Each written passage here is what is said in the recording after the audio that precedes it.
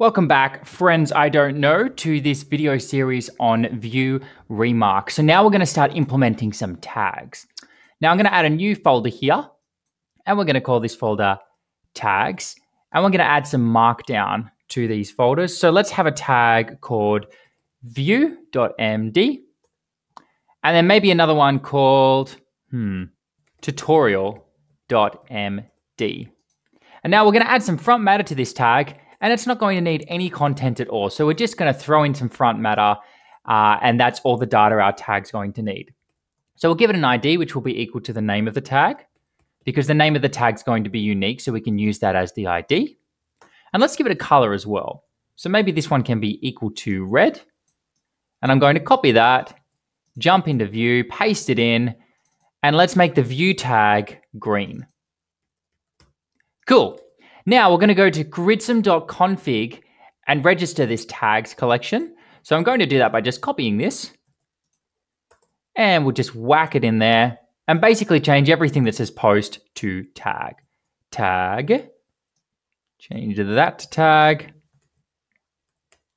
And then this to tag. And I think that should be about it. So now let's go ahead and build the template as well. So we're going to source templates, create a new file there, and call it tag.vue. Whack in a template, and we'll just have it as nothing for now. Maybe just have a H1 saying tags or tag singular. So now let's start up the Gridsome server, Gridsome develop. And when that's going, we can start playing around with this tag data. So the server's up and running. I'm going to control click here and we can just check that the tag data is actually working. Oh, as you can see, I've already been playing around with this, so I'm going to get rid of that so you can't cheat. Haha. and we'll say query tag, and then we're going to accept the ID. So let's put in there ID, and that will be an ID that is required. And now we can say tag, and as we can see with the type hinting, it looks like the tag has actually been registered, which is awesome. And the ID will be equal to the ID that was passed through. So whoops, wrong way around. And then we want to pull in the ID of the tag. And remember, the ID is the actual name of the tag. And we can set that as the ID because it will be unique. Cool, now let's change this to one of our tag IDs, which will be vue. And there we go, it's working. Awesome. So that's great, but now we want to actually use this tag. We want to relate it to our post. So how do we do that? Well, it turns out that in Vue Remark, in the options, we can add a field called refs. So I'm going to come down here and say refs. Okay, so basically stuff that this post will reference. And we're going to add to it tags, which will be of the type tag. Simple as that. So now what we can do is go into one of our posts and add that tag like this. So check this out. I can now say tags and simply add an array. So maybe this one is vue and tutorial. So it's both of those. Let's copy that, go into introduction, and maybe this one is just tutorial. Save that, and I might just restart this server because sometimes when I change the config, I want to restart the server just in case there's some things that haven't been picked up. Cool, that's running. Refresh this page. Click on play. Okay, so that's still working. So now let's see if we can grab the post with its tags. And I'll just go plus here, query, post. We're going to accept an ID, and that ID will be required. And then we're going to say post, accept the ID that was passed through. And let's start by just grabbing the post title for now, just to see that this is working. So we need to grab one of the post IDs. So I'm going to have to say, uh, we're going to have to say post all to grab all of those IDs. So post all, uh, and then we can say edges, node, and then the ID. So let's grab the ID of one of these posts. That one there. Come back over here, whack it in there as the ID. Whoop. There we go click on play, and we're able to grab one of those posts. So now let's see if we can grab the tags with the post now that we've created this relationship. So if I say tags and I want the ID of that tag. Let's see if that works. And it does. How cool is that? So let's grab the other post here. I'm going to copy that, whack it in there, and there we go. This one only has the tag of tutorial. So now that we've got this data, let's see if we can use it. We'll jump into the post template, come down here, and when we're grabbing the post, we're going to grab all of the tags as well. And we want the ID with those tags. So now I can scroll up here and let's add it in here. Mm, we might have like a strong tag that says tags. So let's just see that that's working. I'm going to jump in here, refresh the page. There we go. So we got tags. We just want to have a break in there as well. All right. Cool. So that's working. Now let's see if we can spit out all of those tags. This is so cool. I love this stuff. All right. We'll say v-for tag in page.post.tags. And then we're going to set the key equal to the tag's ID. And then we should be able to just spit the tag out here. Put that in some mustaches, tag.id. And there we go. The tags are coming through. How cool is that? Now, what about the color? Let's see if we can play around with that as well. Let's put in a style tag here. And I'm going to put that in a template string because we're going to pull out the color. So let's come in here, grab the color as well. And let's set the background color background to the tag's color. So save that. And there we go. We've got a color as well. Let's make it a little bit more pretty though. Let's just say border radius and just make it a little bit rounder.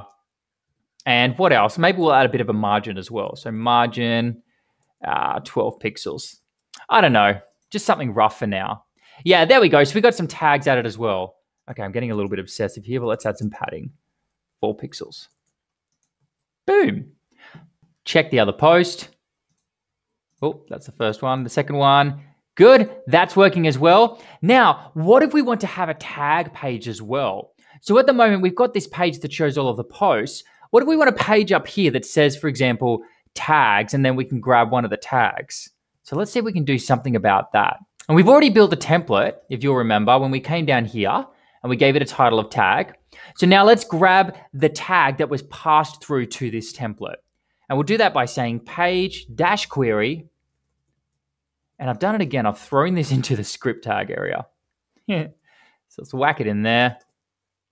And then create a query to grab the tags. And guess what? We've already pretty much written this query in here. So that's going to grab the tag ID, jump back in, whack that in there. And now tag should be equal to the correct tag. So let's change that to page dot tag. Save it refresh the page. Oh, I've done something wrong. Ah, we need to grab the ID as well. And there we go. So here's all the tags for vue. Now we just need to spit them all out. Now let me show you how we can go the other way and grab all of this tags posts. So we'll jump in here. Uh, I might just copy that, create a new tab. And now we're going to grab the posts as well. And to do that, we can say belongs to and then we'll say edges, and then we'll say node, and then we'll say dot, dot, dot. Okay, so this might be new to you. Dot, dot, dot on post. Okay, so we're basically, we're saying the relationship with a post, and then we can pull out everything we need from post. So for example, the title of that post. Let's run that. Oh, ID has not been supplied, so we're going to have to put in an ID as well for this tag and that will be equal to vue. So let's play that, and there we go. So if we have a look here, we're grabbing that tag vue, and then if we go a little bit deeper, we were able to grab the post as well related to that tag. And let's change this to tutorials. Oh, I think it might have been tutorial singular. Yeah, there we go. And it grabs all of the posts related to that. So now we can just steal this come back in here, whack that in, and we're going to have everything we need. Now, often when I'm dealing with deeper data like this, I do like a little cheat. Check this out. If we say pre, like that, and then we just whack all of the data in there, like this, page.tag, it's easier to know what we're working with. So there we go. I can see what I'm working with now. So I want to say belongs to and then iterate over all of the edges. So let's go ahead and do that. Div, and then we'll say v-for equals page.tag.id dot belongs to. And what are we grabbing here? We're grabbing edges. So let's say edge in that. And the key will be equal to edge.id. Oh, sorry, edge.node.id. This is why I put this in pre uh, beforehand, just so I can have a look at it um, and inspect this data. So we're going to save that. Everything seems to be fine so far. And let's spit something out. So what about edge.node.title? So this is basically the post title. Refresh the page. Oh, and I've missed something. Ah, okay, so I've written this wrong. Tag.id. Oh, we need to get rid of ID and then put in here edges. Okay, so it can take a little bit to wrap your head around this. And there we go. So now we're spitting out the post title. Let's actually turn this into a link that we can click on to take us to that post. And to do that, I'm going to say g dash link. So basically, we're using one of the Gridsome links and we can say to, and that will be equal to edge.node.path. And let's put some text in here as well, which will be equal to edge.node.title. Woo! All right, save that. Does it work? No, and the reason it doesn't work is because we're not actually using path. So we need to come in here, grab the path as well in our query. Save that, refresh the page, and there we go. How cool is that? So now, let me just get rid of pre. Boom. So now we've got a page where we can view all of the vue related stuff. And now we can say up here tutorial and have a look at that tag. And there's all the tutorial related stuff. How cool is that? So I think the last thing we need to do now is make it so that these tags are clickable. So how would we go about that? Well, let's jump into the post and scroll down a bit here. So when we're grabbing the tag, we can just grab its path as well. Now all we need to do is use that path to link to the tag.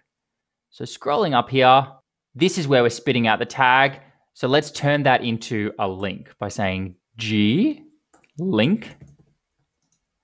And then we're just going to whack in the tag ID. And where is clicking on that link going to take us to? It will take us to the tag's path. All right, refresh the page and it works. Oh my gosh, this is so cool.